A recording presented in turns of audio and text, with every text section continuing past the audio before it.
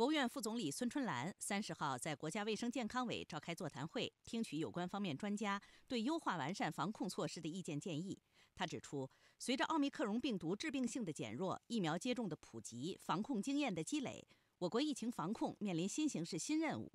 要深入贯彻习近平总书记重要指示精神，落实党中央、国务院决策部署，以人民为中心，防控工作稳中求进，防控政策持续优化，走小步不停步，不断完善诊断、检测、收治、隔离等措施，加强全人群，特别是老年人免疫接种，加快治疗药物和医疗资源准备。座谈会上，张伯礼、沈红兵、王军志、梁万年、杜斌、冯子健、杨维忠、董小平八位专家做了发言。孙春兰充分肯定专家在防控中的重要贡献，希望继续发挥专业优势，发扬科学精神，围绕关键问题深化研究，为做好疫情防控工作献计出力。